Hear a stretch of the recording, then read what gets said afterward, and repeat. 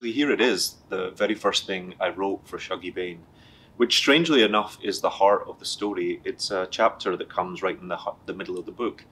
But it came to me almost fully formed uh, as a visual piece of cinema. And it's the, the chapter that deals with the two brothers walking across the abandoned coal mine where they go searching for copper wire. That was a thing that I used to do as a kid we would go to the old uh, the old mine and we would find copper wire. We would strip it, and then you'd be able to sell the copper for a little bit of money.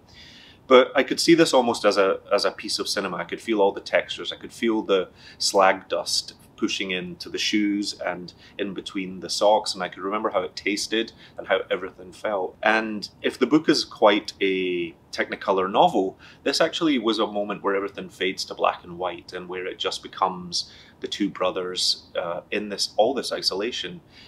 And what was interesting about the first draft of the novel is I wrote it all out of sequential order because I wasn't quite sure what I was working on in the first draft, and I didn't want to lose the thread of inspiration. So I wrote the scenes as they came to me. I, I'm actually a writer that didn't graduate from a creative writing course. I went to art school. I studied fashion and textiles.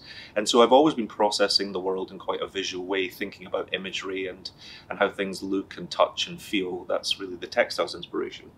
And so I wrote chapters as they as they came. And and this one here um, really formed the whole novel because it set so much in terms of, of tone and time.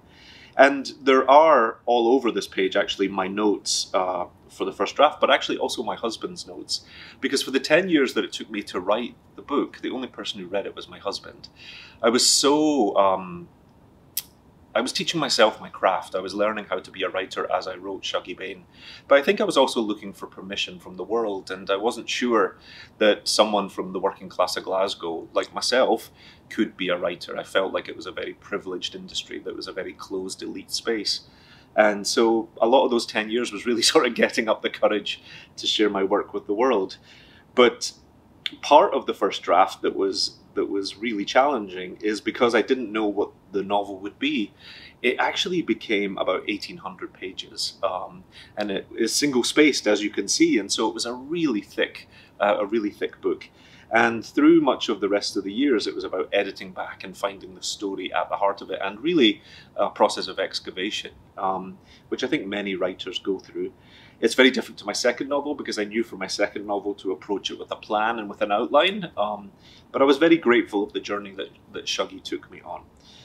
And every time you work on a draft of a novel, and I think Shuggie must have got into the high 20s uh, in terms of drafts, you know, everything changes. One change to a single sentence, to a frame, to a to a word changes things in every other paragraph, every other part of the novel. So it's a very living document. It's a it's a thing where uh, to use, I suppose, a textiles metaphor, to pull one thread will have an effect elsewhere, and and I I was very conscious of that.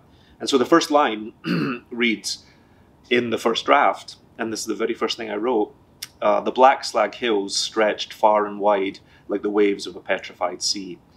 But as the the novel advances and as uh, I learn about economy and about tightening things, I take out some of the words that weren't necessary. And by the third draft, it becomes the black slag hills stretch for miles like the waves of a petrified sea. It was just much clearer and punchier than far and wide. But then by the time we get to the final version, it changes. Actually, it doesn't change. It remains exactly the same. So it's the black slag hills stretch for miles like the waves of a petrified sea but everything is always uh, changing in the novel, and I think uh, editing is one of the you know when you write the first draft of something, you're really as a novelist telling yourself the story first, and you're finding out the heart of something. You're really trying to see what it is you're you're getting at. And then throughout the rest of the process, you're excavating that story. As I said, you're you're trying to make it as tight and as bright and as alive as it can feel.